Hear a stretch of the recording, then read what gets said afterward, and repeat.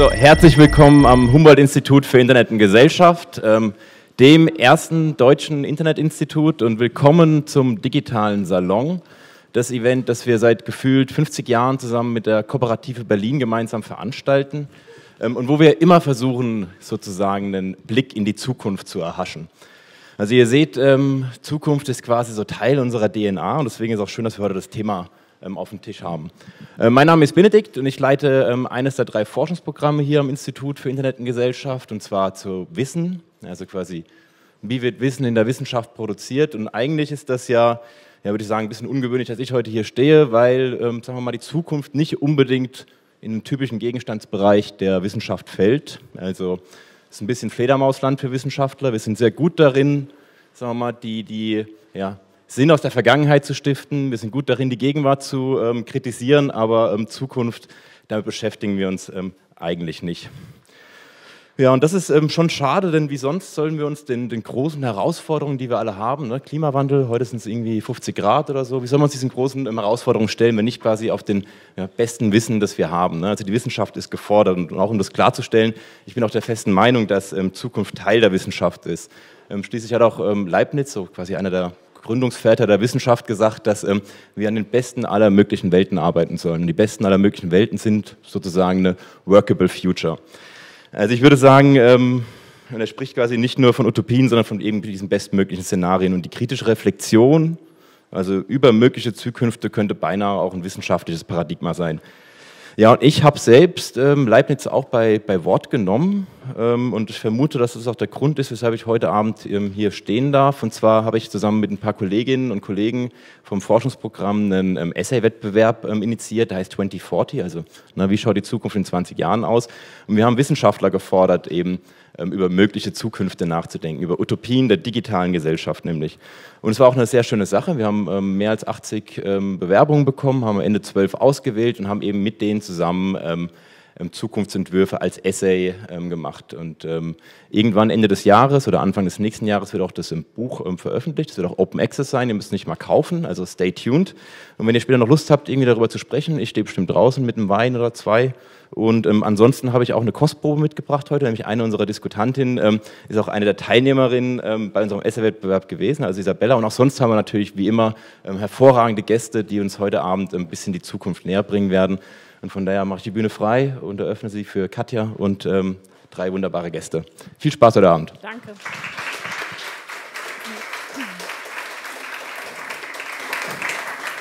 Kommt gerne zu mir. und nehmt Platz.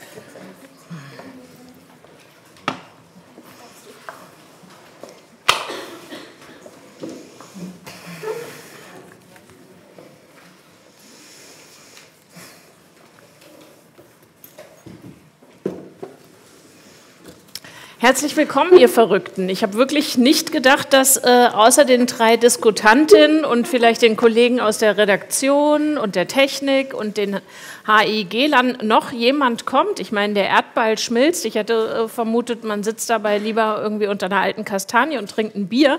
Umso mehr freue ich mich, dass ihr heute Abend gekommen seid äh, und dass dieses Thema offenbar die äh, Hitzeermattung toppt. Also herzlich willkommen. Mein Name ist Katja Weber. Wie immer wird äh, gestreamt, wird diese Veranstaltung gestreamt. Wie immer könnt ihr, wenn ihr uns im Stream seht, schönen guten Abend, äh, per Twitter, Hashtag Dicksal reinwerfen, was ihr vermisst hier auf der Bühne oder was ihr gerne ausführlicher diskutiert hättet.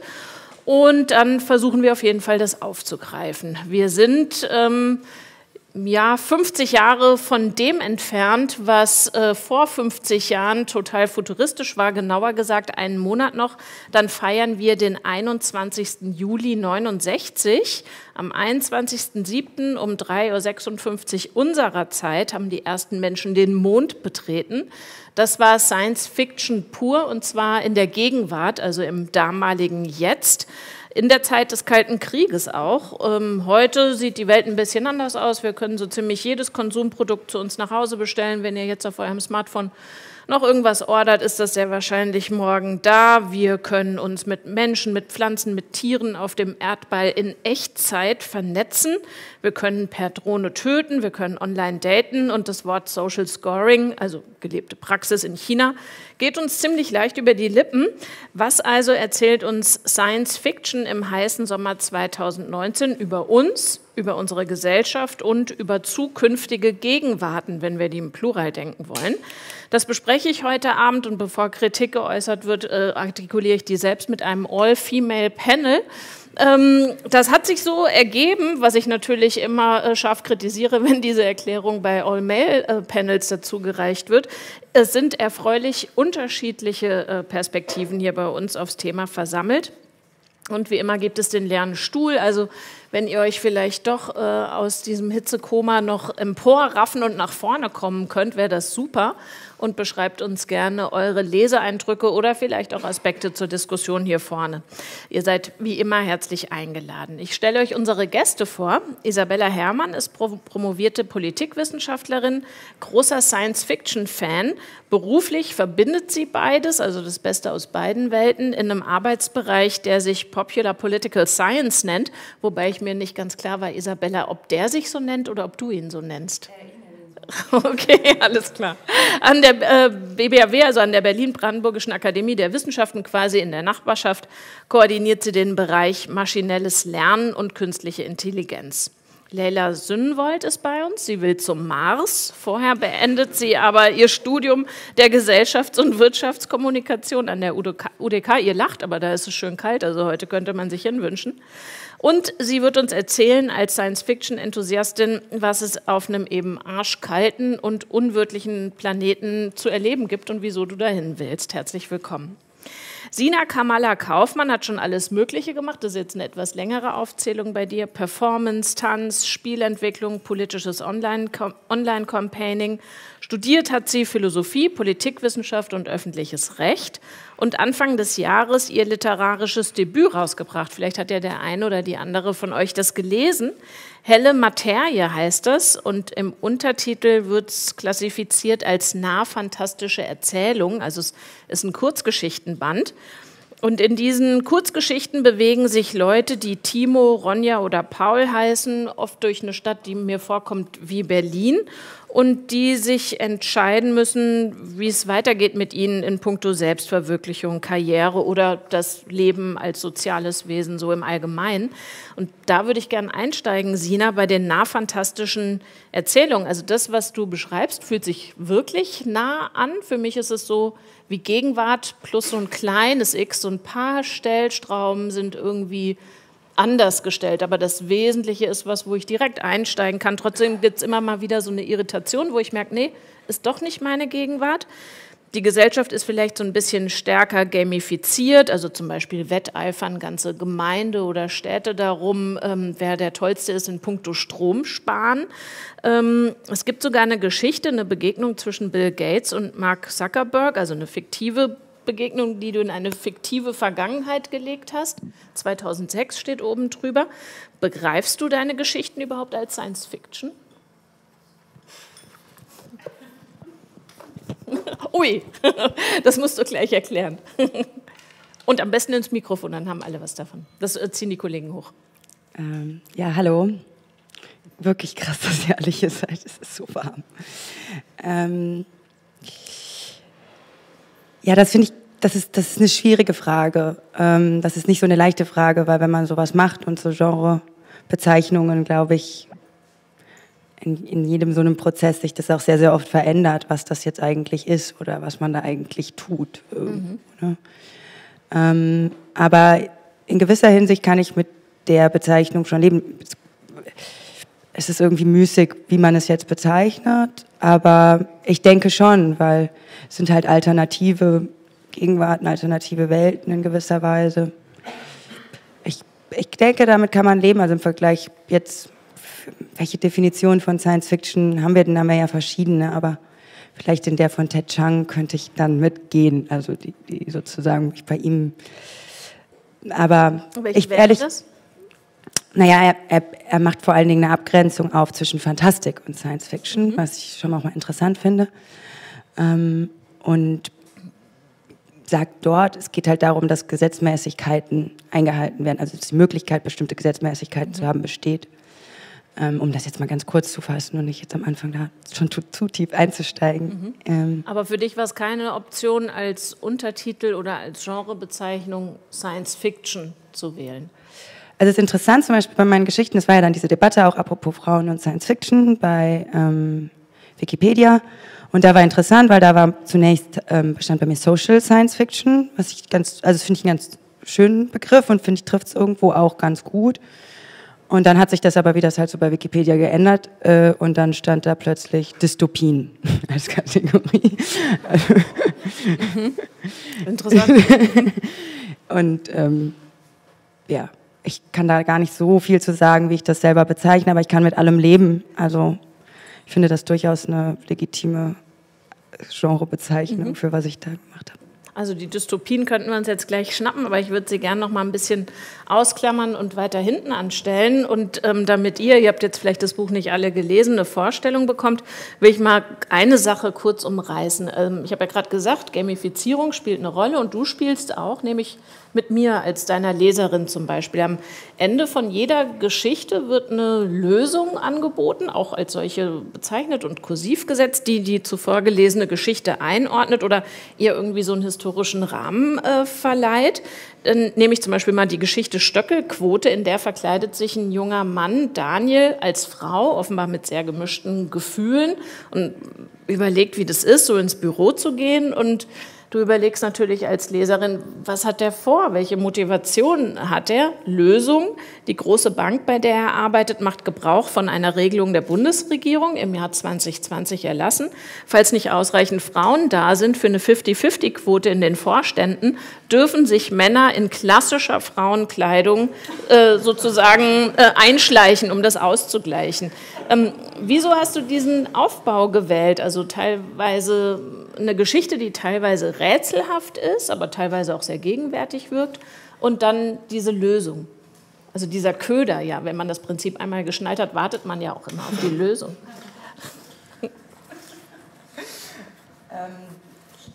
Ja, in so einem Prozess sind viele Dinge auch Zufälle, wenn man so eine grobe Vision hat und sich dem so nach und nach annähert.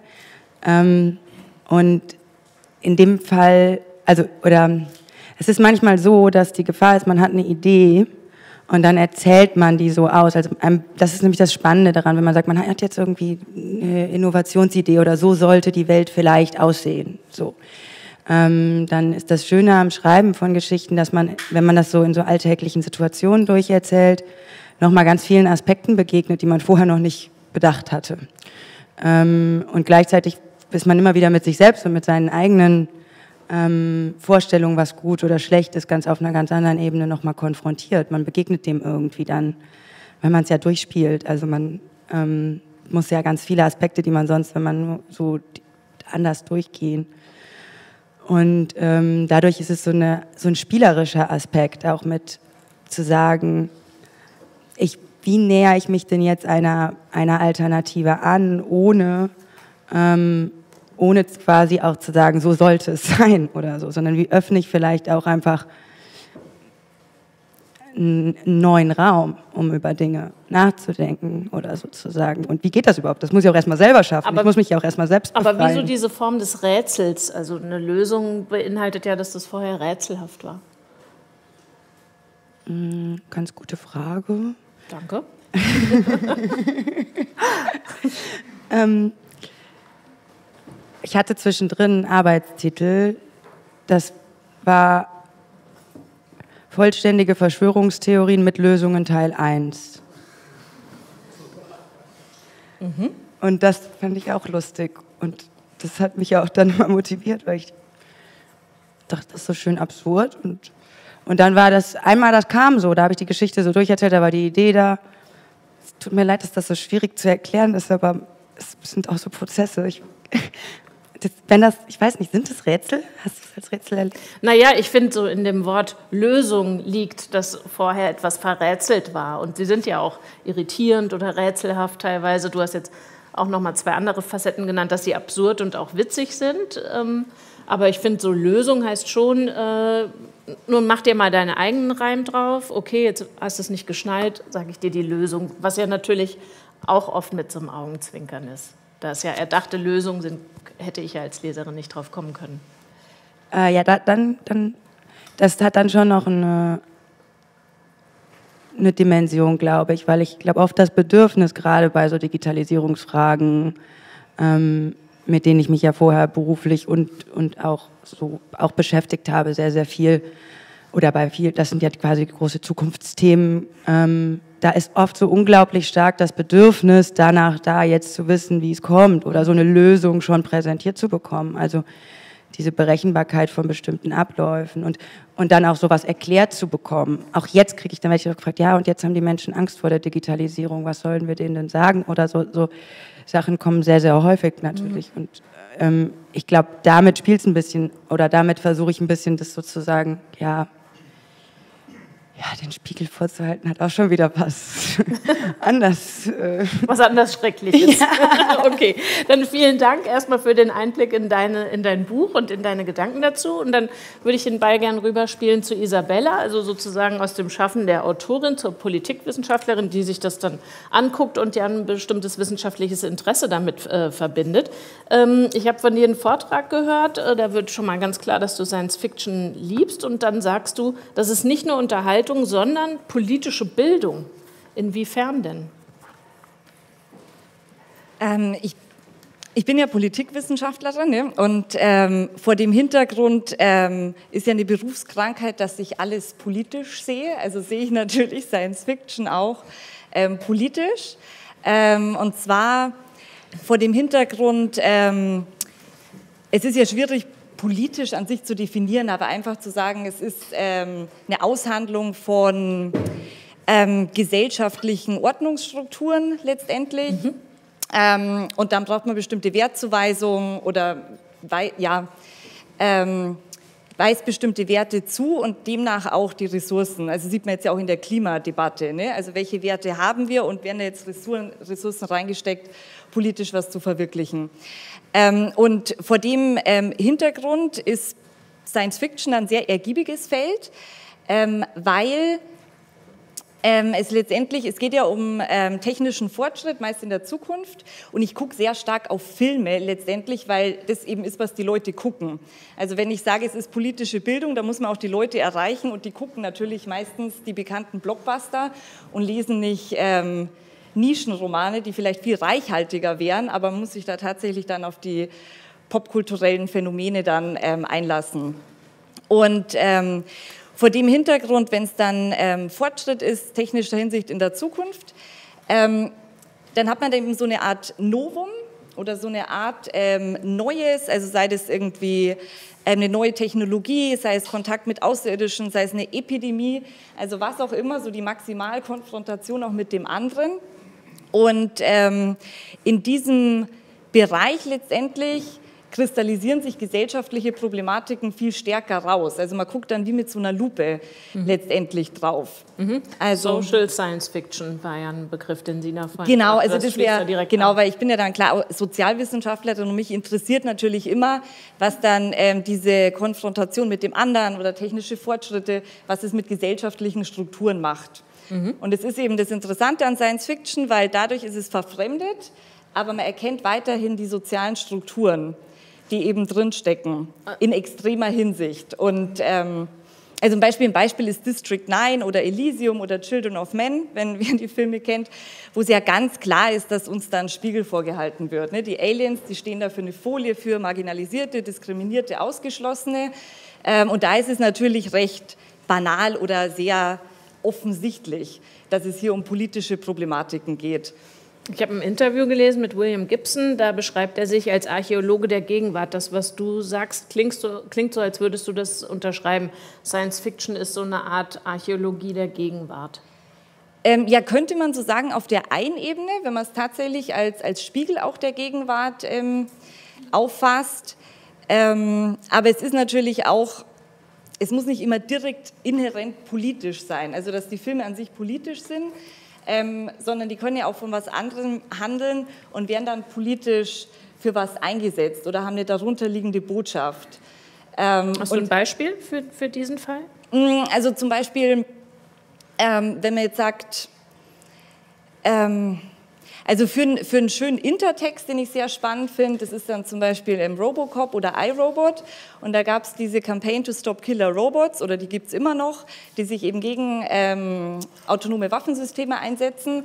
Und die haben sich dann ganz stark auf diese Filme auch rekurriert. Mhm. Und ähm, es gab dann auch tatsächlich Berichte, also es steht alles unter der Ägide von Human Rights Watch, die dann letztendlich ähm, in diesen Berichten fast wie so eine Beschreibung von Filmszenen abgeliefert haben.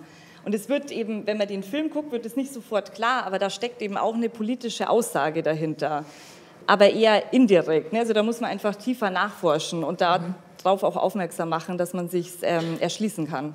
Dann müssten wir, Leila, jetzt ja nur noch gucken, ob Science Fiction so im Großen und Ganzen, im breiten Feld eher Dystopien oder eher Utopien entwickelt. Und dann sehen wir, wie glücklich wir sind so als Welt oder als Gesellschaft. Je nachdem, vielleicht könnte man es runterbrechen auf Nationalstaaten oder auf Kontinente. Ich kann es nicht sauber belegen, aber mein Eindruck ist schon, es gibt mehr Dystopien auf dem Markt, sowohl im Film wie in der Literatur, ähm, als irgendwie Hoffnung oder Technikoptimismus oder ähm, eine große Vorfreude auf das, was kommt.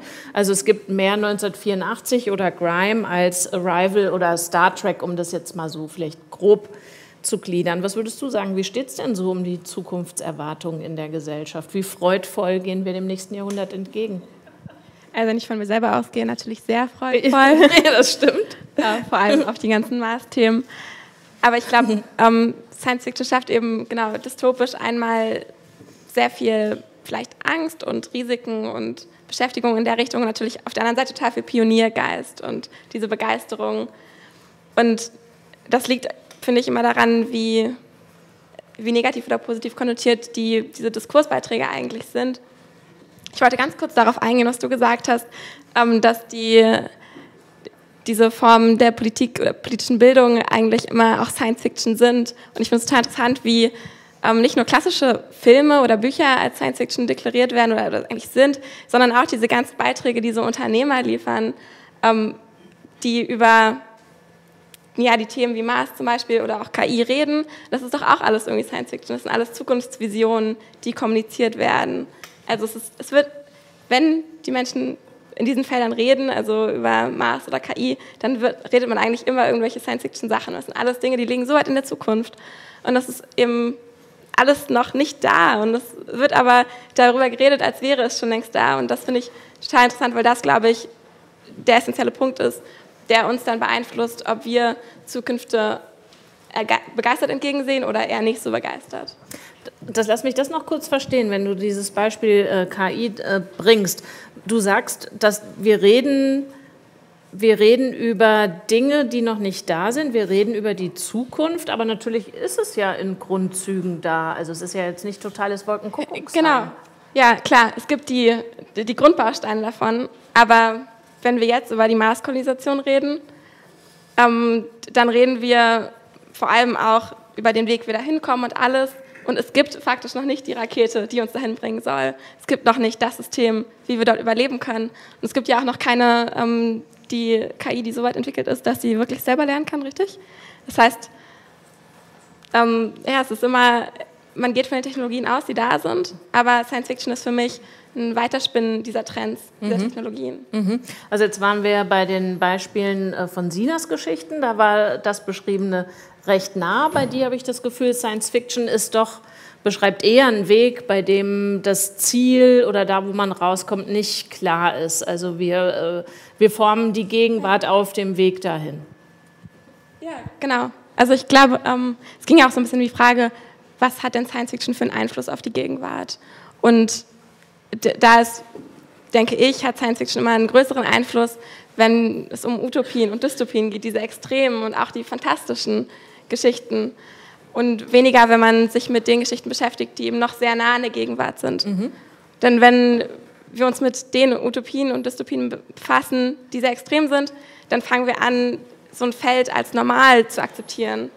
Dann, also ich, ich meine, ihre Reaktion war ja auch sehr ähm, ungläubig, als ich oder als es darum ging, dass ich gern zum Mars möchte. Mhm. Ähm, das liegt einfach daran, dass so, so war ich ja auch am Anfang. Ich war total erschrocken oder abgeschreckt von der Vorstellung, auf dem Mars zu leben. Aber wenn man sich damit befasst, wenn man Filme schaut und Bücher liest und dieses Feld näher versteht, dann wird das Ganze irgendwann normal. Und diese Normalität zu erzeugen, ist, glaube ich, so ein wichtiger Punkt, den Science Fiction leisten kann. Okay, über den Umweg über die Zukunft äh, dann doch wieder in der Gegenwart ankommen. Ja. Ihr seid äh, gerne und jederzeit aufgefordert, einfach Platz zu nehmen, wenn ihr was reinwerfen oder loswerden wollt. Ich würde äh, derweil dich, Sina, gerne noch mal fragen nach einer Geschichte mit dem schönen Titel Opt-in Slavery.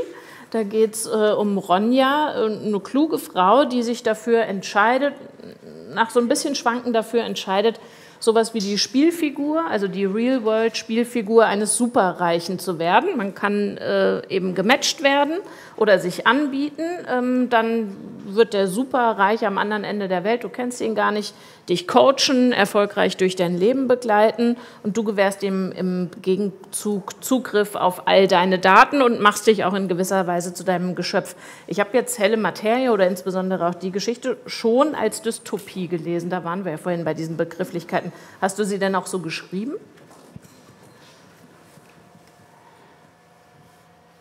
Nein. oh, Mist. Wieso kommt es dann bei mir so an? Sender-Adressatenproblem.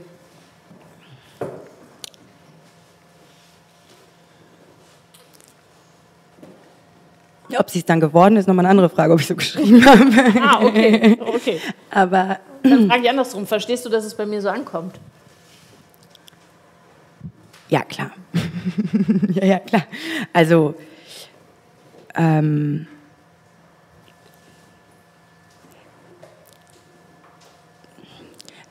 ich glaube, das schwang ja eben schon mal als Frage auch an, ne? warum entstehen vielleicht mehr Dystopien als Utopien? Ähm, weil es sehr, sehr schwer ist, Utopien zu schreiben. Ähm, und weil es auch, also eben genau aus dem, was ich eben schon beschrieben habe, dass man so, man hat so eine Vorstellung, so wäre die Welt vielleicht besser oder anders. Und da hat man vielleicht, vielleicht hat man eine Idee. Zwischendrin war es bei mir so, dass ich dachte, oh, das wäre doch was, das wäre doch total toll. Und dann habe ich gedacht, okay, dann erzähl's doch mal durch, denk's doch mal erstmal zu Ende, bevor du irgendwie das machst. Also es war jetzt gerade aus dem Bereich, wo ich kam, wo halt die Sachen unglaublich schnell passierten. Also ich war davor im Bereich Social Gaming, ähm, wo es auch um ähnliche Fragestellungen für mich ging. Da war Facebook zum Beispiel noch ganz klein. Und ich habe da sehr viel mitbekommen wie, wie schnell plötzlich Dinge Realität werden auch und wie schnell das dann weltverändernde auch Techniken sind. Ähm, und gleichzeitig ist, man da dann, war ich quasi Teil so eines Prozesses in gewisser Hinsicht, der sehr schnell ginge, bei dem man gar nicht nachdenken konnte. Auch wusste, die einzelnen Akteure haben gar nicht drei Schritte weiter denken können, weil es so schnell ging aus Grund von bestimmten Mechaniken. Ähm, und so war ein Gedanke, Moment, vielleicht kann man diese Sachen mal auf eine andere Weise durchdenken, ohne jetzt gleichzeitig, also mit einem, eher mit einem forscherischen Aspekt auch. Also ich glaube, mhm. es war, es ist eben beim Schreiben selber habe ich nochmal total viel gelernt und zwar vielleicht umfassender oder für mich auf eine Weise spannender, als das jetzt wissenschaftlich möglich ist, weil ich ja ganz andere emotionale Komponenten oder auf eine andere Weise emotionale Komponenten untersuche, wenn ich untersuche, klingt schon. Naja, es ist schon ein wissenschaftliches Vokabular, das du benutzt. Ne? Die Sache durchdenken, untersuchen, denk das mal zu Ende, auch die nächsten Schritte und Entwicklungen. Ja, und, und ich glaube, da waren schon viele Fragestellungen, die, die dabei auch aufkamen. Also, ja, beantwortet das die Frage? Darf ich eine kurze Frage stellen? ja. Ähm, gab es denn, weil du auch gerade um den, es ging um den forschenden Aspekt und die Intention dabei, hattest du so eine Intention, ähm, am Ende irgendwie die Technologie, was du beschreibst, oder dieses Novum eben auch nahbarer zu machen durch deine Geschichte? Oder ging es dir mehr um den Storytelling-Aspekt selber? Ich wollte Sachen erfinden auch und auch eine Alternative, also mir erstmal sich überhaupt erstmal was wirklich Neues zu überlegen, also was wirklich, wirklich Neues, weil natürlich gibt es tausend Sachen, an die man irgendwie anknüpfen kann, aber und man hat ja ständig tausend Ideen so und ich glaube, der Schreibprozess ist dann äh, ja, einerseits die Ideen total ernst zu nehmen und andererseits halt auch wieder überhaupt nicht. So. Das ist ja das Schöne an der Science Fiction, dass man so diese dichterische Freiheit hat, einfach mal Sachen zu erfinden und wegzukommen von diesen realistischen Betrachtungsweisen. Obwohl tatsächlich genau diese Idee, äh, matche einen Superreichen ähm, mit einer Person, die Unterstützung gebrauchen kann, habe ich gedacht, wahrscheinlich äh, melden sich bei dir demnächst Investoren, die, die Geld abwerfen wollen äh, für, diese, für dieses Social Game, oder? ehrlich gesagt manchmal ein bisschen erschreckend, wenn ich dann sowas ausschreibe und dann ist da so. Es gibt quasi so Charity-Aspekte, da steckt ja viel drin in der Geschichte, wenn man quasi den sozial ähm, Background nehmen würde. Ähm, aber ja, nee, das, es gibt schon so Charity-Organisationen, die beispielsweise versuchen, an, also so, so, ein Matchmaking auch herzustellen, mhm. beispielsweise. Ja. Nicht sozusagen, manchmal habe ich eine Idee und denke, die ist gut. Und dann merkt man, oh Moment, die hat so einen kleinen Haken. so, jetzt haben wir Besuch bekommen. Ja, hallo. Hallo, wer bist du denn Ach. und mit welcher Frage oder Erzählung kommst du? Ähm, ich bin Benno und ähm, ich ähm, habe gerade auch darüber nachgedacht, über dieses Gespräch, ähm, wo es darum ging, ähm, warum vielleicht mehr Dystopien geschrieben werden oder mehr Medien über Dystopien produziert werden als über Utopien. Und ich denke, dass ähm, einerseits, also allein so von so einem Storytelling-Aspekt ist es, glaube ich, immer spannender, ähm, so ein bisschen eine düstere Seite zu beleuchten von etwas. Und ich glaube auch, dass ähm, ich habe nie eine Science-Fiction-Geschichte geschrieben oder so, ähm, aber ich kann mir vorstellen, dass wenn man probiert, eine ähm, Utopie zu schreiben, kommt man zwangsläufig immer an den Punkt, ähm, wo es möglicherweise dann zu einer Dystopie wird. Ähm, und ich denke, dass das auch ein ganz guter Spiegel ist davon, dass ähm, wir immer versuchen, irgendwie große Lösungen zu generieren. Und das klang ja auch gerade schon so ein bisschen an, so dieses, ah, wir stehen vor einem Problem und wie lösen wir das? Und dann kommen irgendwelche großen Ideen und ähm, eine Utopie oder eine utopische Idee, so eine Science-Fiction-Idee ist ja immer eine, oder häufig, so wie das hier äh, durchklang, auch dann so was ein bisschen Großes, Großartiges. Und gerade denke ich, oder gerade da denke ich, bei diesen großartigen Ideen ist natürlich immer die Gefahr groß, dass, ähm, oder ist es, glaube ich, einfach in der Natur der Sache, dass ähm, das auch einen großen Preis hat. Und ähm, genau dieser große Preis ist vielleicht dann Storytelling-mäßig auch das Spannende, wenn sich das so dann später irgendwie zeigt. Also wenn ich es richtig verstehe, würdest du sagen, eine Utopie begegnet sich irgendwann mit der Dystopie in so einem totalitären Anspruch, in so einem weltumspannenden Zwangsbeglückungsprogramm, wie auch immer das im Einzelnen aussieht. Genau, also das denke ich ist eine ganz große Gefahr, wenn man irgendwelche ähm, großartigen Lösungen irgendwie versucht schnell durchzusetzen. Und ähm, ich glaube, dass das auch ganz gut widerspiegelt, inwiefern das irgendwie auch menschliche Natur ist oder einfach Natur, nämlich es gibt einfach nicht nur das Gute, sondern ja möglicherweise äh, zur Hälfte auch das Schlechte sozusagen oder das Gute und das Böse. Und von daher wäre es sehr unrealistisch, eine wirklich eine Utopie schaffen zu können. Isabella, was sagt die Forscherin? Volle Punktzahl oder ja, aber. Nee, geht, geht schon in die richtige Richtung. okay. Nee, es ist, äh, es ist absolut, also man braucht ja eine Story und eine Story ist nur interessant, wenn es einen Konflikt gibt. So, und deswegen geht es ja dann oft in eine konfliktgeladene dystopische Ecke rein. Ähm, so das zum einen. Und wenn es dann auch einen utopischen Charakter hat, also wie zum Beispiel Star Trek ist ja so das Standardbeispiel, mhm. das ist ja so ein ein großer utopischer Überbau, also so die postkapitalistische Gesellschaft. Aber in der gibt es ja auch ganz viele Konflikte und letztendlich werden ja die Konflikte innerhalb der Menschheit dann auf die Außerirdischen übertragen. Es ist total militarisiert und die Föderation ist auch dann so ein Club von Weißen irgendwie. Nur, also es ist halt ein Setting des Utopisches, wo dann auch genau wieder die Konflikte drin sind, weil sonst wäre es ja langweilig. Ne? Es ist, ist dann schwer ähm, schwer, da was Interessantes zu erzählen. Was ich halt nur interessant finde, ist überhaupt die Idee von, ähm, von einer Utopie. Also wenn wir jetzt sagen, wir sind so in dem, in dem Ideal von Liberalismus oder liberalen Humanismus oder Good Governance, Demokratie, wenn das so unser, unser Standard ist, ähm, dann ist es oft bei, bei Filmen oder bei Büchern auch, die in eher einer näheren Zukunft spielen, also wo die Technik noch irgendwie abbildbar ist. Ne? Also wo es dann um soziale Kontrolle geht durch irgendwie Technologie oder auch das Ganze mit KI und Maschinen oder auch mit, ähm, mit Weltraumreisen, also wo auch schon technische Möglichkeiten sind. Ähm, da haben wir noch immer dieses Ideal dann von so einem Good Governance Demokratieprinzip. Und dann wird, es, ähm, wird die Technik schnell benutzt, eben um eine Kritik zu äußern in Form von einer Dystopie. Was halt interessant ist, ist, wenn man das dann hinter sich lässt, also diese Idee, dass wir ähm, eine liberale Demokratie möchten, ähm, dann sind Utopien tatsächlich möglich. Also es gibt dann auch Bücher, wo dann Klongesellschaften entworfen werden ne, und da ist dann kompletter Friede oder Gedanken äh, oder Mind-to-Mind-Talk, also Gedankensprech. Und man sagt, man ist dann eigentlich der vollen Kontrolle durch anderen ausgesetzt, aber in den Büchern selbst ähm, sind es dann tatsächlich utopische Settings, wo es dann funktioniert. Moment, Nur, ich das kurz verstehen? Demokratie ist ein Utopie-Schreibehindernis? Äh, ja, in der Hinsicht schon. Und sobald man, also man ist eigentlich gezwungen letztendlich, ähm, die Ideale aufzugeben, nur dann ist man ja auch wieder in der Dystopie. Also es ist eine ziemliche Krux, aber wenn man sich immer... Aber kannst du dir nicht eine Demokratie vorstellen, die noch demokratischer ist als unsere?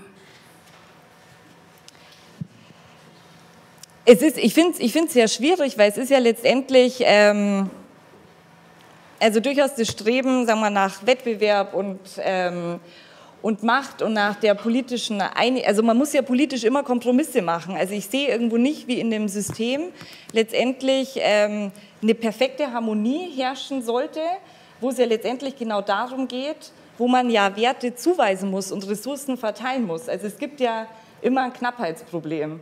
Und das ist letztendlich bei Star Trek gelöst, weil da gibt es das Knappheitsproblem nicht mehr. Also es gibt keine wirtschaftlichen Zwänge mehr. Das ist ja die Ausgangslage. Und dann kann sich jeder selbst verwirklichen und hat da keinen Drang mehr, irgendwie den eigenen Status zu erhöhen oder die eigene Macht auszuspielen in dem Setting. Aber in dem Sinn, also so wie wir letztendlich ähm, liberale Demokratie oder eine gute Gesellschaft auffassen, finde ich sehr schwierig. Okay, das ist schon mal ein interessanter Punkt. Jetzt würde ich aber gerne noch mal zu Leila springen und zwar mitten rein in den Technikoptimismus. Äh, du kannst gerne noch bleiben, aber wenn du denkst, du hast gesagt, was du zu sagen hattest. Also ich glaube, mir würden jetzt ganz viele Ideen kommen, aber ich will auch nicht die ganze Zeit äh, hier. Äh, Dann äh, reichen wir das als Vorschlag weiter ans HEG, nochmal einen Science-Fiction-Workshop zu machen. Vielen Dank. Ähm, Technikoptimismus war ja dein äh, Stichwort. Jetzt haben wir hier gerade mit Benno und Sina und Isabella, naja, mehr oder minder festgehalten, dass, ähm, dass Utopie und Dystopie sich im Totalitarismus treffen. Du äh, müsstest ja jetzt eigentlich sagen, äh, Bullshit. Ich habe äh, eine Utopie, die ist überhaupt nicht totalitär. Ich will auf den Mars. Also ich schon, aber ja. ich glaube so die Science Fiction von heute auch nicht so richtig. Also ich habe festgestellt, auch die, die Mars Science Fiction Werke, die es vor so 50, 60 Jahren gab, die waren teilweise noch sehr fantastisch und mal utopisch, mal dystopisch. Aber heute ähm, ja, hat Science Fiction sich in so eine Richtung begeben, die doch sehr wissenschaftlich orientiert ist. Also mhm. ähm, der Marsianer rettet Mark Watney ist so ein klassisches Beispiel für einen Film, der oder ein Buch, ähm, das sehr gut recherchiert ist. Das ist sehr nah an den Techniken der NASA, an den Gegebenheiten auf dem Mars orientiert. Mhm. Und das hat so, finde ich, wenig von Utopie noch Dystopie. Also es bewegt sich mehr in so einen wissenschaftlich orientierten Bereich. Aber bevor wir jetzt über den Marsianer reden oder über Matt Damon, der da oben eben leider vergessen wurde und dann sehen muss, wie er klarkommt, bis er wieder abgeholt werden kann, äh, erklär uns noch mal kurz. Also äh, Tatsache, in dem Film geht es ja auch darum, auf dem Mars toben wochenlange Sandstürme. Ähm, du hast die Auswahl zwischen staubig oder felsig oder ich glaube, es gibt auch Landstriche, da ist beides. Es ist arschkalt und kein Tropfen Wasser. Wieso willst du da hin? Du müsstest ja jetzt erstmal pitchen, ähm, dass, dass du da einen guten Grund hast. Die Frage ist echt nicht so leicht zu beantworten. Für mich persönlich ist es die Vorstellung, auf dem Mars zu leben oder dort eine Kolonie zu errichten, diese Vision von einer neuen Gesellschaft auf einem anderen Planeten irgendwie mit begleiten zu können oder initiieren zu können, ist sowas total Einzigartiges und, und so ein großer Traum. Da wird alles andere irgendwie total klein nebenbei. Also alle Risiken, alle Gefahren weiß ich nicht, spielen da gar nicht mehr so eine große Rolle. Ist das vergleichbar mit dem, mit der ersten Mondlandung, mit der ich vorhin begonnen habe? Also einfach als so ein ja. irrationales, außerhalb ja, jedem denkbaren, also ja, ein irrationales, dass das rational erlangt wird? Ja, also es war ja vor 50 Jahren mit der Mondlandung so ein ganz ähm, strukturierter Prozess, würde ich fast schon sagen, und auch sehr politisch meiner Meinung nach, ähm, dass man sich dieses Ziel gesetzt hat, wir müssen auf dem Mond landen. Das war politisch bedingt durch diesen Wettbewerb mit der Sowjetunion. Und dann hat man angefangen, sich zu überlegen, wie können wir das legitimieren? Wie können wir die finanziellen Mittel dafür erhalten? Und wie können wir vor allem die Gesellschaft ähm, davon überzeugen, dass es sich lohnt, auf den Mond zu fliegen und dieses ganze Geld, die ganze Zeit da reinzustecken.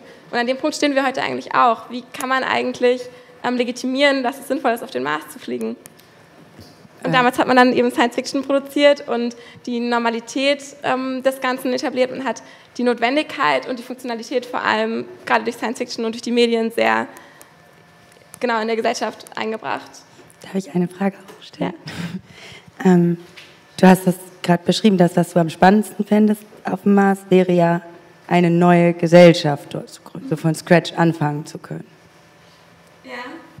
Was ist daran Du glaubst spannend? nicht, dass es ähm, nee, von Anfang was, an geht? Oder? Nee, was daran spannend ist, also was dich daran Ja. Ähm, ich glaube, also ich finde es unheimlich spannend, wie viele verschiedene ähm, Visionen dabei entstehen können und was man, also darüber nachzudenken, wie das Ganze funktionieren kann. Ich glaube, da gibt es nämlich sehr unterschiedliche Ansätze. Also ob das tatsächlich so, ein, so eine Gesellschaft, so ein Reset wird oder werden kann, oder ob das eben als Kolonie wirklich verstanden wird, also als es fliegen irgendwie 100 Wissenschaftler von der Erde hoch und fangen an, die irdischen Strukturen dort zu etablieren. Und ich glaube, da gibt es total viele ja, verschiedene Szenarien. Also ich habe ein paar, zum Beispiel eins, ähm, ich habe letztens ein Science-Fiction-Buch gelesen, da wurde eine Kolonie auf der Venus errichtet. Und die war so eine sehr irdische Kolonie und wurde irgendwann, also konnte aber nicht unabhängig werden, wurde also von der irdischen Gesellschaft unterdrückt und ähm, ja, aufgehalten vom Fortschritt eigentlich. Ähm, andererseits hat Andy Weir in seinem zweiten Buch ähm, ein Szenario dargestellt, wo so eine kleine Erdenkolonie auf dem Mond tatsächlich geschafft hat, unabhängig zu werden und eine neue Wirtschaft aufzubauen, eine neue Gesellschaft. Und genau der Punkt, an dem eben von den 2000 Kolonialisten oder Forschern ähm, es überspringt zu dem, wir sind jetzt 10.000 Menschen große Kleinstadt auf dem Mars, hier werden Menschen geboren und hier, ähm, hier macht es auch einen Sinn, irgendwie zu leben. Ich glaube, das ist der Punkt, der mich sehr interessiert, wie man da hinkommt und was dann passiert. Darf ich noch? Na klar, gerne. Ähm, was ich ja da total spannend finde an den Fragestellungen jetzt mit Mars, also verändert sich dann der Mars oder verändern die Menschen sich? Also weil man muss sich ja irgendwie anpassen. Also der Marsianer, das ist ja alles, also der, der, der kann sich ja nicht auf dem Mars frei bewegen, man ist ja total eingeschränkt. Also ist ja dann die Frage, also wie weit geht dann die Technologie? Also muss man dann irgendwie Geoengineering machen oder was auch immer? Oder verändern sich dann die Menschen? Also es gibt ja genug Science-Fiction-Bücher, ne, wo dann einfach äh, ja, letztendlich durch, durch Technologie, also es ist dann kein evolutionärer Prozess, dauert ja viel zu lang, aber wo man die Menschen auch technologisch umformt. Ne, und wo dann einfach sich der Körper komplett verändert, aber dann verändert sich ja auch wieder das Menschsein. Also letztendlich wieder die Frage von vorher, wann ist eine Utopie eine Dystopie und andersrum, wann ist ein Mensch noch ein Mensch? Und wenn ich auf dem Mars lang genug bin, bin ich dann noch ein Mensch eigentlich? Oder wird der Mars zur Erde? Also das finde ich ist ein unheimlich spannender Fragenkomplex, weil das geht ja auch wirklich um den Kern von dem, was wir als Menschen sehen. Und darum geht es auch in Science Fiction. Also was ist der Mensch und wo hört das Menschliche auf und wo Allein, dass wir darüber reden, finde ich total super, dass es anscheinend ja normal werden kann, dass so ein Szenario passiert. Also es ist ja gar nicht mehr so absurd, dass man sich vorstellt, wie können Menschen sich selber verändern oder wie können wir den Mars verändern, dass dort Menschen leben. Das, der Einwand, den ich hätte, so spannend all diese Fragen sind, also ich habe mir da einen Tinkon-Talk angeguckt und dachte, es etabliert für mich ein bisschen unausgesprochen die Idee von so einer Wegwerferde. Die Erde ist abgefuckt, ne? der Müll und das Klima und die Überbevölkerung, also scheiß drauf äh, und ab äh, Richtung Mars. So, da habe ich gedacht, äh, könnte man nicht diesen, diesen Überschuss oder vielleicht auch diesen Idealismus nutzen, um die Probleme ähm, da in den Griff zu kriegen, wo man sie selbst angerichtet hat? Auf jeden Fall. Also so die Erde ist immer noch Plan A und ist auch nicht so, dass Mars Plan B wäre. ähm, Also ich finde nicht, dass es rechtfertigt, ähm, die Erde zu vernachlässigen oder auch zu sagen. Aber es schwingt in all diesen Utopien mit, so läuft irgendwie nicht gut. Äh, wir, wir müssen noch mal gucken, geht aber let's be honest. Was? Richtig gut läuft es auch nicht hier. Aber dann technikoptimistischer, vielleicht ist ja der Weg zum Mars hin die Rettung der Erde. Also, dass man auf dem Weg dahin Technologien entwickelt oder dann auch ein Bild, also es das heißt ja immer, ne, wenn der Astronaut dann ein All ist und sieht dann die Erde und also vielleicht ist es nicht, anstatt ähm, sich darauf zu konzentrieren, in, in den Weltraum zu gehen, die Erde zu retten, sondern genau damit oder dadurch. Ja, sich zu überlegen, was können wir erreichen an technologischen und gesellschaftlichen Fortschritten ja. und was bringt das uns für die Rettung der Erde und das Weiterleben hier. Also ihr könnt euch nachher alle eintragen. Leila hat eine Liste dabei für die erste Mars-Mission. Ähm, da können sich freiwillig Meldet euch, wenn ihr Raketen aber habt. Lina hat schon mehrfach die Stirn so in Falten gelegt und es dann doch wieder gelassen. Und jetzt wüsste ich aber doch gerne, was du äh, dazu denkst. Ja, einiges natürlich. ähm, es so diese, natürlich ist diese Art der Weltraumflucht ja auch eine Form Zukunft. Also ich denke viel über so Fahrtabhängigkeiten im Denken nach oder so, weil es geht ja auch um Denkräume und was können wir uns überhaupt vorstellen. Und, ähm, und da ist natürlich immer eine gewisse auch Prägung. Also wenn wir uns angucken, also ich würde sagen, wir brauchen bestimmt keine Tendenz mehr von irgendeinem Silicon Valley ähm, Investor, der, den wir noch zusätzlich motivieren müssen, zum Mars zu gehen. Ich glaube, das ist schon gegeben und ich glaube, dass das unter anderem tatsächlich wirklich an Science Fiction liegt. Also in dem Fall jetzt an Ian Banks. Also in dem Fall ist es halt definitiv Ian Banks, der einen ganz, ganz tiefen Einfluss auf ähm, Elon Musks Vorstellungen von der Welt und einer möglichen Zukunft hat. Ähm, und Ian Banks, schottischer Autor, ich glaube auch schon seit einigen Jahren tot, ne? um das nur einzuschieben für alle, die es vielleicht nicht wissen. Ähm, ja, und deshalb glaube ich, dass, dass dieser Aspekt, was, was, was denken wir uns denn aus und warum gehen wir zum Beispiel immer in den Weltraum, tatsächlich ein, ja, ein zentraler ist, indem man halt genau diese Räume in denen es auch um was anderes sich zum Beispiel vielleicht erstmal vorstellen und was das bedeutet, weil natürlich müssen wir aus bestimmten Dingen ausbrechen. Ich meine, das ist ja wohl uns völlig klar. Also das stellt ja wohl keiner hier in Frage. Und wenn dann die Lösung ist, ja, wir gehen jetzt zum Mars, ich meine, wenn uns vielleicht dieser Weg und diese Erlebnisse, die, die dort geschildert werden von Menschen, die schon im Weltraum waren, ich habe tatsächlich gar kein besonderes Bedürfnis, in den Weltraum zu fahren. Ähm, also, ähm, ähm, dann ist das ja dieser Schutz dieser Erde und vielleicht ganz neue Lösungen darin zu finden. Und ja. Bitte schön. Hi, ich bin der Marius und ich bin Student und ich wollte zu dir einwerfen. Also mich erinnert das so ein bisschen, ich habe auch mit Sebastian darüber gesprochen, der studiert Geschichte. Ähm, an, den, an die Wiederentdeckung des europäischen Kontinentes aus europäischer Sicht. Also so dieses, da ist so eine neue Welt, die ist aus unserer Sicht eher primitiv und nicht bevölkert. Und äh, da könnte man ja so eine neue Welt erschaffen, so sich neu ausleben und so weiter. Also ich finde, das ist ja so schon mal ähnlich passiert. Also mich hat das, das daran erinnert. Und ich würde sagen, ähm, ich studiere Sozialwissenschaften, aus soziologischer Sicht äh, ist das eigentlich fast unmöglich, sozusagen das alles andere hinter sich zu lassen, weil du bist geprägt, wie du geprägt bist in deiner Umwelt. Und diese Neuentwicklung, das würde sich dann sehr, auch sehr lange dauern. Und das finde ich bisschen, also ich würde da ein bisschen nüchterner mit umgehen, muss ich sagen. Aber das würde ich jetzt mal so als, ein, als, als Einwurf mal bringen. Ich merke schon, dieses hier, dieser Optimismus kommt nicht so gut an. Ach. Obwohl du, das muss ich auch noch zu deiner Verteidigung sagen, du ähm, auch nicht äh, ab Geburt oder ab dem ersten Satz, den du sprechen konntest, gesagt hast, ich will in den Weltraum. Das muss ich auch äh, noch dazu sagen, dass es ein längerer Prozess war, aber entgegne gerne. Also ich kann es eigentlich nur unterstützen, was du sagst. Also ich glaube auch, dass diese, dieses Szenario von wir starten bei Null eigentlich so nicht passieren kann. Aber das Interessante bei Science Fiction ist ja, sich genau zu überlegen, was, ist denn, was sind die Extremen? Also dieses, was passiert bei Null oder was passiert, wenn einfach eine neue Erde, also oder wenn alle Menschen von der Erde auf den Mars fliegen, keine Ahnung. Ähm, und was können wir davon für diesen realistischen Weg mitnehmen? Deswegen finde ich das so interessant, eben beide Aspekte mal durchzudenken. Dankeschön. Danke dir. So, ich würde äh, sagen, er greift gerne. Äh, komischerweise bin ich noch so ungefähr bei Frage 4 auf meinem Zettel, aber die Zeit ist weg.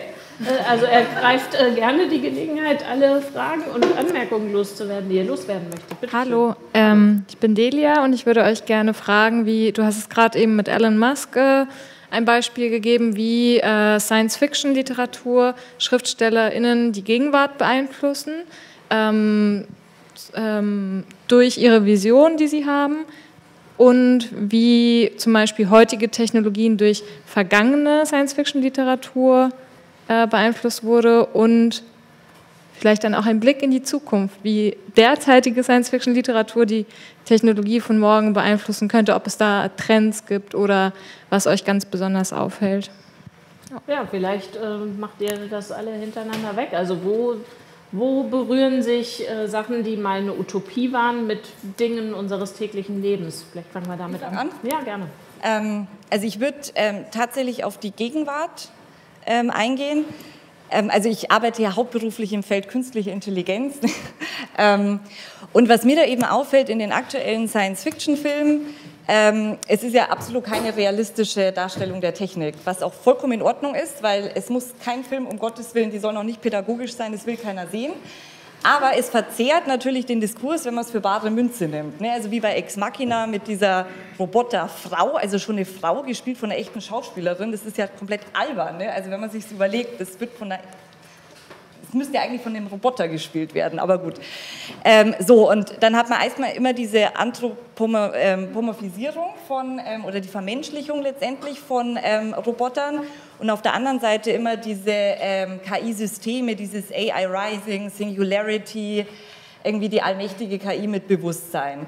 Und ähm, darauf geht wieder diskursiv sehr das ganze Silicon Valley ein. Also das ist tatsächlich, und die sagen ja auch alle, sie sind Science-Fiction-Fans. Und dann macht Stephen Hawking auch noch mit und alle sind dabei bei der ganzen Debatte, die aber komplett davon ablenkt, dass die ganze KI-Problematik ja eine gesellschaftliche ist. Es geht ja nicht darum, dass uns irgendeine allmächtige Maschine beherrscht oder dass ein Roboter kommt, der uns die Job wegnimmt. Es geht ja darum, was das innerhalb der Gesellschaft mit uns macht. Also wie Machtstrukturen zementiert werden, wie zum Beispiel die Regierung die Macht festigen kann, indem bestimmte Leute ausgeschlossen werden, weil es bestimmte Vorhersagen gibt von automatisierten Systemen. Das sind ja die Kernpunkte. Und da sehe ich eben so, eine, so einen Intertext oder so einen starken Diskurs, der sich gegenseitig beeinflusst und sehr stark aufeinander referiert und letztendlich davon ablenkt, um was es eigentlich geht. Und eigentlich geht es ja um staatliche Überwachung, um Social Scoring, um den ähm, digitalen Kapitalismus. Und das wird in den Filmen ja gar nicht erwähnt, beziehungsweise ähm, ist es auch nicht darstellbar. Es gibt keine Bilder dafür. Aber das wäre meine Antwort. Okay, also in dem Bereich eher eine Vernebelung. Äh, vielleicht wollt ihr noch antworten. Wo seht ihr Science, das, was mal Science Fiction war, jetzt schon Realität geworden? Oder was denkt ihr, steht jetzt noch in Büchern, ist aber vielleicht in den nächsten 10, 20, 30 Jahren äh, bei deinem äh, Online-Portal zu kaufen? Ich habe mir diese Frage auch schon total oft gestellt, weil die Überlegung, ähm, ja, klar, damals hat, keine Jules Verne über den Nautilus geschrieben und danach gab es das U-Boot. Das kann man rückblickend immer so einfach sagen, diese Schlussfolgerung ziehen. Aber was bedeutet das wirklich für die Zukunft? Kann man genauso jetzt auch rekonstruieren, dass wir Science-Fiction-Geschichten schreiben und in 20 Jahren gibt es diese Technologie oder in fünf Jahren sieht die Gesellschaft so aus? Ähm, und ich glaube auch, dass Unternehmer vor allem sich gerade damit befassen, wie man das für strategische Kommunikation nutzen kann. Und also Beispiele dafür sind einfach auch, dass Leute wie Elon Musk sich mit Science Fiction zusammentun oder dass diese Felder irgendwie zusammenkommen. Und wie ich vorhin schon angesprochen habe, dass Science Fiction immer wissenschaftlich orientierter wird und Wissenschaft sich auch an Science Fiction orientiert, zum Beispiel durch Designs von Raumanzügen oder ähnlichem. Und also so einfache Beispiele dafür sind, dass in der Serie Mars, vielleicht hat jemand gesehen, Elon Musk mhm. als Experte dasteht und erzählt, wie seine Rakete zum Mars fliegt. Und zehn Minuten später in der gleichen Serie ähm, kommt ein Drama, dramatischer Ausschnitt, ähm, wo diese Rakete tatsächlich zum Mars fliegt. Also ich glaube, das ist, wird gerade erkannt und es wird irgendwie auch genutzt für strategische Kommunikation dieser Zukunftsvisionen. Dann würde ich jetzt vielleicht deine Frage sogar gerne nochmal zuspitzen oder noch ein bisschen erweitern und dich fragen, Sina. Mir kommt so vor, als ob wir gar nicht so viel Zukunftsvision haben. Ich meine, gut, du hast jetzt mit, mit der Mars-Mission einen starken Punkt, das geht klar. KI ist vielleicht ein anderes. Aber ich habe das Gefühl, wir haben gerade gar nicht so viel Zukunft, also wenig, woraufhin wir zugehen oder wo wir, wenn wir jetzt, Star Trek ist ja immer ein beliebtes Beispiel für, für den Zusammenhang, nach dem du fragst, ne? Die, unsere Smartphones, Tablets und alle möglichen Kommunikatoren äh, haben wir jetzt. Ne? Aber ich sehe im Moment gar nicht so eine, so eine Bereitschaft, so weit wegzugehen von dem, was wir haben. Ist äh, vielleicht irgendwie jetzt mal ein bisschen zugespitzte These, die Digitalisierung der Killer für Science Fiction? Das ist ja schon alles so futuristisch. Da gibt es tatsächlich Thesen zu von quasi Science-Fiction-Kolleginnen, jetzt nenne ich sie doch mal so. Ähm, dass es quasi die Science-Fiction in dem Sinne nicht mehr weil alles schon da ist und wenn es nur im Kleinen ist und weil es schon denkbar ist und dass diesen Raum eigentlich verringert dafür, dass noch tatsächliche neue Science Fiction entsteht. Ähm, ich sehe das ähnlich und hätte sehe das tatsächlich ähnlich und finde es dementsprechend, glaube ich, die spannendste Frage, wie wir alle in einer gewissen Hinsicht zu so agilen oder flexiblen Menschen wie, wie, wie Elon Musk werden, die sich bedienen, wo sie wollen, indem sie ihre eigene Realität erschaffen. Also wie weit kann so ein Empowering klappen, dass man halt mit seiner eigenen Realität so kreativ selbst umgeht. Ne? Wie schafft man sich denn auch Welten, um dann wiederum Welten zu, zu erschaffen? So. Also ich meine... Ich glaube, da hilft es, äh, Millionär zu sein, oder? Milliardär. Oh, Milliardär, Entschuldigung. Entschuldigung, Elon. Ja, das erleichtert natürlich, dass man sich eine eigene Realität kreiert. Aber also was ich quasi damit sagen will, ist, das sind ja Orientierungs- und Fixpunkte, die dann Leuten ja auch Energie geben, so wahnsinnig auf irgendein Ziel hinzuschießen, mhm. sozusagen. Ne? Und ich glaube, da gibt es sicherlich noch andere Charaktere, die, die, die quasi.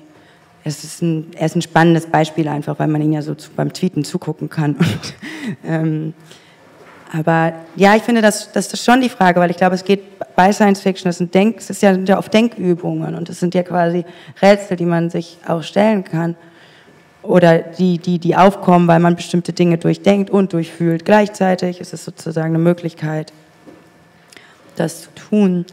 Ähm, und dass es dann was beeinflusst, liegt vielleicht auch daran, das ist ja bei allen Dingen so und ich glaube, da muss man auch ein bisschen vorsichtig sein, wie viel wie, wo jetzt das Science Fiction das Spezifische ist und was einfach auch künstlerische oder alle Formen von inspirierender Kulturgutproduktion, die wiederum dann andere inspirieren und wieder dann was anstoßen. Das sind ja immer so auch so magische Prozesse, die keiner so genau hat. Manche Sachen sind ja auch einfach gleichzeitig da und liegen in der Luft und Vielleicht gebe ich dir deine Frage einfach nochmal selbst zurück. Ähm, also das, worüber wir gerade sprachen. Wir haben Pränataldiagnostik, wir haben jede Menge genetisches Wissen, äh, wir selbst äh, sind Zeuge und werden an uns selbst erleben, dass die Lebenserwartung dramatisch äh, gestiegen ist hier für unsere Kohorten. Ähm, wir wundern uns nicht mehr, wenn auf dem Auto, auf der Straße ein Auto vorbei sirrt, ganz leise. Die Digitalstaatsministerin wartet auf Flugtaxis. Also wir haben, wir haben schon so viel und haben alle auch unsere glatten Devices dabei, die ja direkt aus einem Science-Fiction-Film kommen könnten. Ähm, würdest du der These zustimmen oder vielleicht auch einen Einwand formulieren, dass wir schon so viel Zukunft haben, dass wir vielleicht gerade mit der Gegenwart, wie sie ist, relativ gesättigt sind? Mm, also sowohl als auch. Ich habe gerade, also einerseits was Technologie da ist, ich glaube, da sind wir vielleicht auch gerade in einer Phase, wo wir quasi abgehärtet werden gegen neue Innovationen, dass da vielleicht auch gerade so ein bisschen die Imagination ähm, sowieso schon so stark am Rotieren ist, dass wir das Neue gar nicht mehr als neu empfinden. Aber ich habe auch gerade zum Beispiel über ähm, den Tod nachgedacht. Also im Sinne von, wann werden wir. Aber offenbar.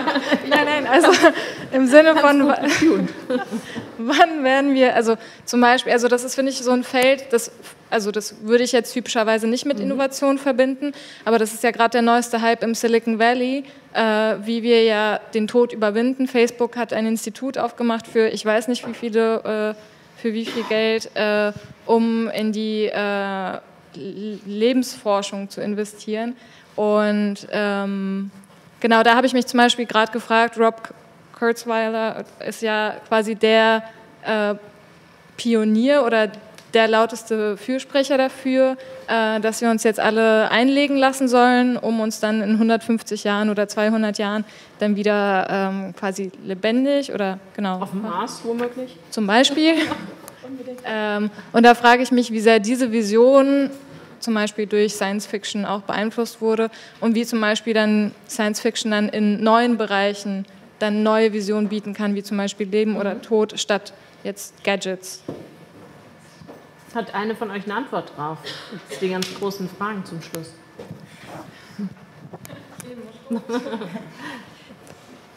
Ja, ich finde das oft interessant, habe ich das Gefühl, dass bei so Sachen, die so sehr, sehr, so als wären die kognitiv lösbar, das scheint mir fast hinter vielen der, sowohl hinter der AI Ängste als auch der AI Hoffnungen zum Beispiel, ähm, oder auch, sagen wir mal, unternehmerischem Antrieb in der einen oder anderen Extreme doch ähm, ja, so, so, tatsächlich ein Versuch, den Tod auszutricksen und sich dadurch doch ähm, auch, auch auf einer Weise selbst seiner Menschlichkeit zu, ähm, zu entziehen. Klingt jetzt zu, ja, ihr wisst, was ich meine, glaube ich. Also das steckt, glaube ich, manchmal da mit drin und das finde ich, glaube ich, mitunter auch so ein bisschen problematisch an bestimmten Idealen, die dann auch wieder sehr wirkmächtig so da sind. Also gerade weil sie dann eben sowas so projizieren und das sind ja dann doch auch Narrative, die irgendwie eine Gültigkeit haben. Wenn wir AI so übermächtig machen, dann ist das ja doch was, wie wir, wie wir eben glauben, dass die Zukunft wird oder dass sie ist, was uns wiederum als Menschen sozusagen eine Agency da drin überhaupt irgendeinen Stake zu haben ähm, nimmt. Ähm, ja. Gibt es von euch noch äh, Antworten auf die Fragen nach dem aufgeschobenen oder aufgehobenen Tod? Ich glaube, da geht es so ein bisschen um die Frage nach Innovation ähm, von Techniken. Und du hattest ja auch schon anklang, anklingen lassen, dass heutzutage oder du, dass es ähm, gar nicht mehr so sehr um das richtig Neue geht, sondern um, wie können wir Dinge verbessern und optimieren. Und ja, ich glaube, du hast gerade so ein bisschen die Frage gestellt nach, kann es Innovationen geben in diesem Bereich? Kann der Tod irgendwie ganz aufgehoben werden? Und ich glaube wirklich, wir sind auch einfach gerade an einem Punkt, wo es mehr um die Frage nach Verbesserungen geht und dass diese Innovation und dieses komplett Neue immer noch der Science Fiction vorbehalten ist. Und wie bewertet das denn zum Beispiel die Politikwissenschaftlerin? Ist es bedauernswert, dass wir uns sozusagen mit dem nächsten ähm, Update zufrieden geben, äh, statt das ganz Neue zu entwickeln? Ähm, ja, also dem würde ich, würde ich tatsächlich also auch zustimmen. Und es ist ja offensichtlich, dass da irgendwie jetzt so die neue große Vision oder der neue große Wurf fehlt. Ähm, also hinsichtlich Leben und Tod, hm, I don't know, ich glaube, das sind eher Zombie-Filme und nicht so Science Fiction, weiß ich nicht. Ähm, aber was ich beim, beim, die ich nicht mag, da kenne ich mich nicht aus. Aber also bei der ganzen Silicon Valley-Sache, was ich da unheimlich spannend finde, letztendlich ist diese Technikgläubigkeit, also zu glauben, ich kann soziale Probleme technisch lösen. Und die sind ja alle, also Zuckerberg und Musk und alle sind ja Science-Fiction-Fans, also gibt es ja auch Reading-Lists, so was, mal, ähm, was die lesen was, was sie empfehlen. Und die sehen ja immer aus den Science-Fiction ähm, nur immer bestimmte ähm, technische Aspekte. Und ich gucke jetzt zum Beispiel vor allem auf die sozialen und was es da für soziale Umwerfungen gibt. Und das wird ja da komplett ausgeblendet. Also die Idee ist ja irgendwie, wir sind Daten und äh, wir haben dann ein utilitaristisches Modell und werten Daten aus und jeder Mensch ist ein Datenstrom und dann verbessern wir irgendwie aufgrund von irgendeiner Analyse letztendlich das Zusammenleben der Menschen. Und diese Technikgläubigkeit würde ich eben durchaus kritisieren. Also die geht in eine, in eine Richtung, die ähm, eher weniger visionär ist, die eigentlich wieder dystopisch ist oder totalitär. Da schließt sich der Kreis. Gibt es äh, eurerseits noch Fragen? Wir sind so langsam im Landeanflug, aber ich möchte, danke dir. Ich möchte ähm, niemanden abwürgen, also fragt gerne, was ihr noch geklärt haben wollt. Bei 40 Grad. Okay, jetzt habe ich aber noch zwei, sorry. Und zwar dachte ich, ähm, Sicherlich fahren viele von euch weg über den Sommer oder haben auf jeden Fall ein bisschen mehr Zeit zum Lesen. Du warst gerade bei den Lektüreempfehlungen. Ich dachte, wir machen einfach mal einen Rundumschlag.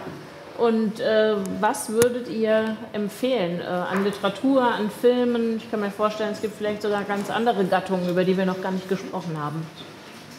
Freiwillige vor. Ich hatte es gerade schon mit den beiden Büchern, ich würde sie einfach kurz erwähnen. Also Andy Weir mit ähm, Artemis und das andere ist ähm, Pull und Kornblut mit ähm, The Space Merchants. Da ging es um die Besiedlung der Venus, genau. Und ein schönes Stück Science-Fiction-Literatur ist sowieso immer Douglas Adams. Das kann ich auch nur empfehlen, aber also ich bleibe eher bei den Büchern, gerade merke ich, aber also ja, widmet euch den auch mal. Sina, was würdest du empfehlen?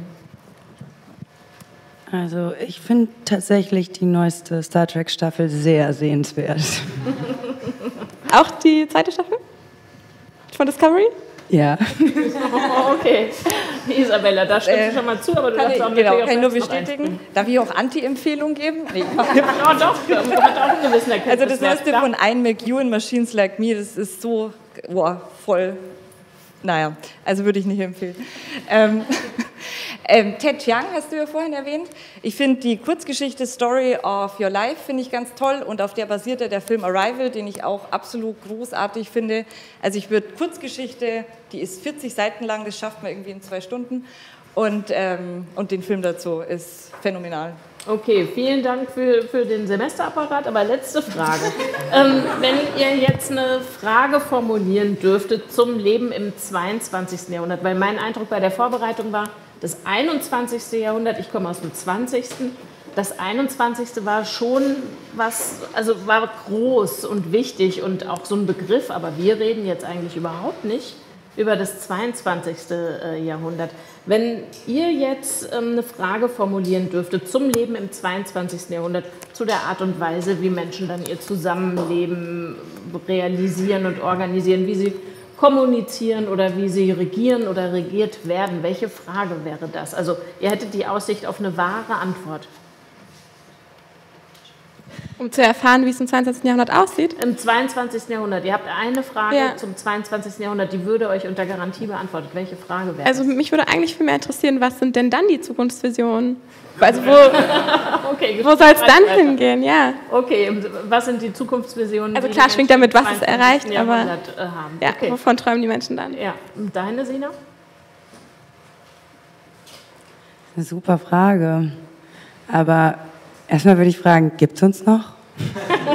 okay. Und du? Um, ich finde ich find spannend zu fragen oder zu wissen, ähm, ob wir uns tatsächlich genetisch, also durch neue Technologien tatsächlich so verändern, dass man so bestimmte Zwänge der Menschen, so wie Wettbewerb oder so, ähm, überwinden könnte. Wie, durch, durch implantierte Chips oder wie? Ja, oder durch ähm, Veränderung des Genoms letztendlich. Okay, also genetische, welche genetischen Veränderungen haben wir bis dahin äh, gemeint durchführen zu müssen? Okay, vielen Dank für eure Fragen, auch für eure Antworten. Euch vielen Dank, dass ihr äh, hier so lange ausgehört habt. Äh, es kommt gleich der Saunameister mit dem Eukalyptusaufguss. Bis dahin könntet ihr äh, rausgehen und was trinken und äh, wieder für eine vernünftige Wasserzufuhr äh, sorgen. Vielen Dank fürs gespannte Zuhören. Vielen Dank.